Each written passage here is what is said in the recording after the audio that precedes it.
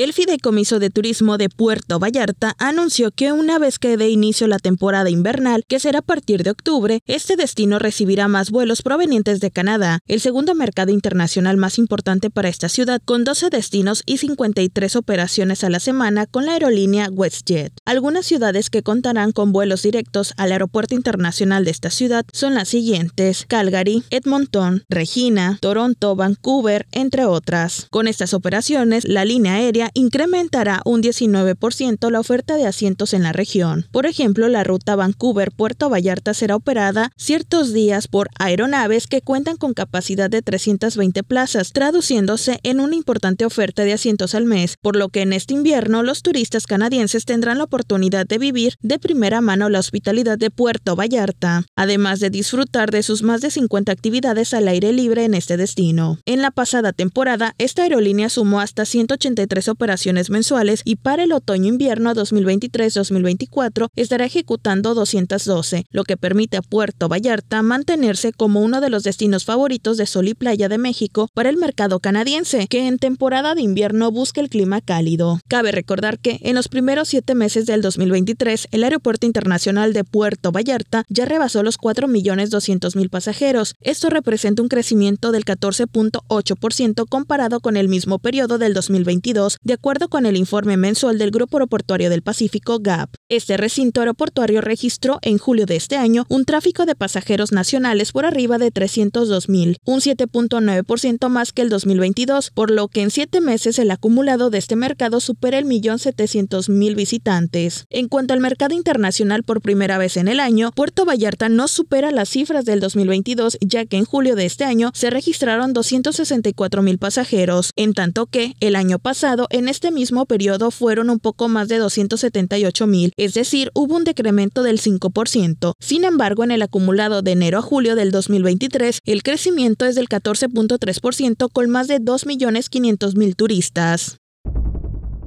Con imágenes de Ixia Rodríguez para CPS Noticias, Brenda Beltrán.